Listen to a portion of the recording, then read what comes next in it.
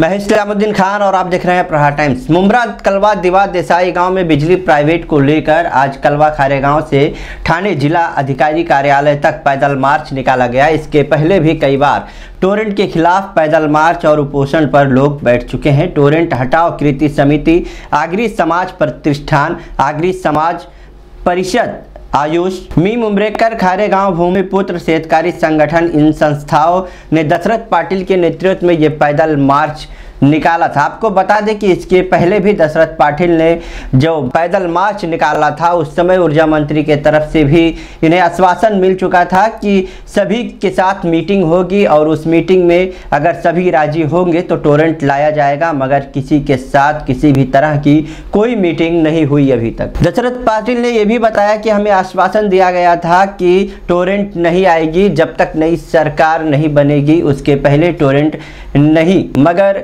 उसके बावजूद टोरेंट का काम चालू है। इसके लिए हम पैदल मार्च निकाले हैं। हम टोरेंट के खिलाफ हैं। पैदल मार्च के बाद जिला अधिकारी को मेमोरेंडम देने के बाद क्या कहा? दशरथ पाटिल और राजू पाटिल और रफ़ीक मुकदम ने। मांगने मांगने तो है ही, लेकिन जो गवर्नमेंट ने हमको शब्द दिए थे, गवर्नमेंट ने जो हमको शब्द दिया था कि किसी भी तरह से ये टोरंटो अभी शुरू नहीं होएगा। जब तक नया सरकार आएगा नहीं तब तक टोरंटो आएगा नहीं। आज हम कल से हमको मालूम पड़ा कि 31 तारीख को रात को टोरंटो का कामकाज शुरू होने वाले इसलिए लोग हम रास्ते पे आए हैं। पहले मंत्री ने जो शब्द दिया, वो जेंटलमैन वर्ड रहता किसी भी मंत्री का। और जब तक सरकार नया बनता नहीं, विधिमंडल में तब तक टोरंटो आएगी नहीं।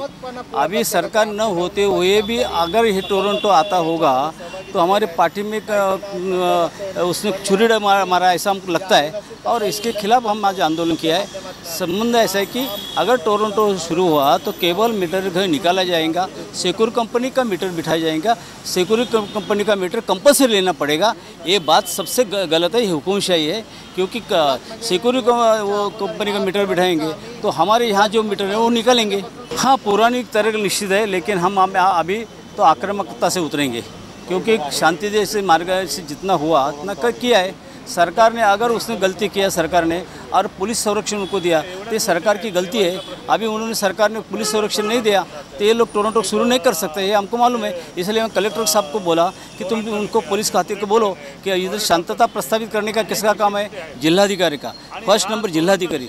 सबसे कलेक्टर की ज़िम्मेदारी रहती है कि गाँव में पूरे शांति रहना माँगता है। तो कलेक्टर ने अगर पुलिस कमिश्नर को लेटर दिया कि बाबा यहाँ टिकट संरक्षण देना चाहिए तो मुझे ऐसा लगता है कि टोरंटो आएगा नहीं। भावों ने आश्वासन दिया था ना कि जब तक नया सरकार आता नहीं नई सरकार आता नहीं तब तक किसी तरह से टोरंटो के बारे में काम शुरू होगा?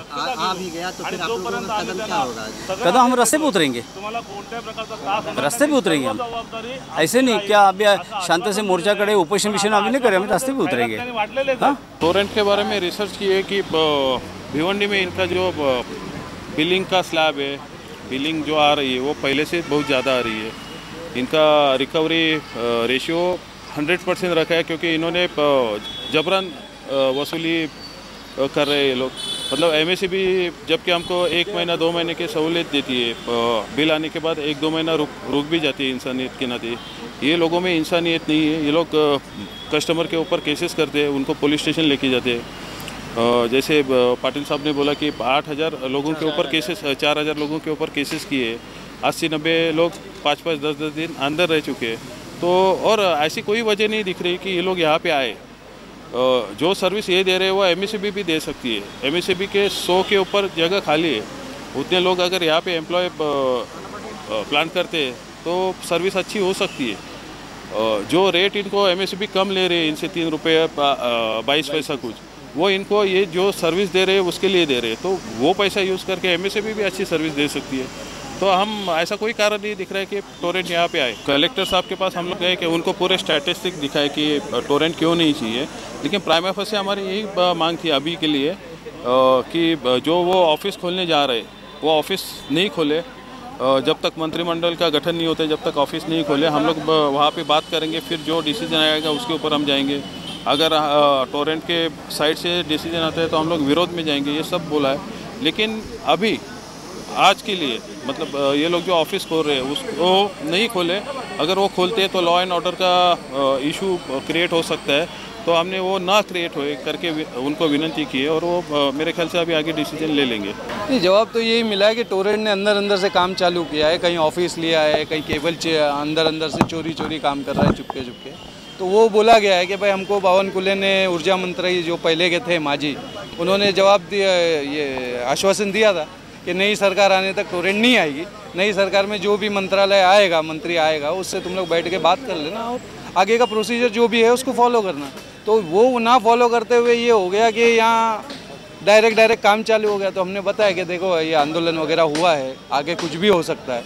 कुछ भी कर सकती है पब्लिक चाहती नहीं है। जिसको चाहती नहीं है, उसको थोपा जा रहा है। और इतना आंदोलन और इतनी भूख हड़ताल करने के बाद भी सुधार नहीं है। तो रास्ते पे उतरेंगे। और करेंगे काम। तो ये लिखित स्वरूप दिया गया है उनको कि टोरेंट आएगा तो लॉ एंड ऑर्डर आप लोगों को ही संभालना पड़ेगा, क्योंकि सब में पहला आदमी मैं समझता हूँ जिला का अगर कोई है तो वो जिला अधिकारी है। तो उनसे ही हमारे उम्मीदें हैं। उनसे हमने कहा कि भाई हमारे ज़िला को संभालो, हमारे ज़िला में हमारा शहर है, उसको संभालो, बर्बाद होने मत दो। अगर बर्बाद होगा तो हम लोग चुपचाप तो नहीं सहेंगे, उसके लिए कुछ ना कुछ, उसके हिसाब से कदम उठाया जाएगा हमारी तरफ़ से। ये बोला गया। सुना आपने टोरेंट के खिलाफ विरोध प्रदर्शन होने के बाद भी टोरेंट का काम चालू है। लोगों का कहना है कि टोरेंट मनमानी तरीके से काम करती है और ग्राहकों के साथ अच्छा बर्ताव नहीं रखती है। साथ ही बिजली भुगतान ज़्यादा आता है। बताया जा रहा है कि इस वजह से टोरेंट का विरोध हो रहा है। तो तमाम खबरों को जानने के लिए देखते रहिए प्रहार टाइम्स ताज़ा तरीन खबरों के लिए हमारे यूट्यूब चैनल को सब्सक्राइब करें और बेल आइकॉन दबाना ना भूलें। अगर आप फेसबुक पर देखते हैं तो हमारे पेज को लाइक करें।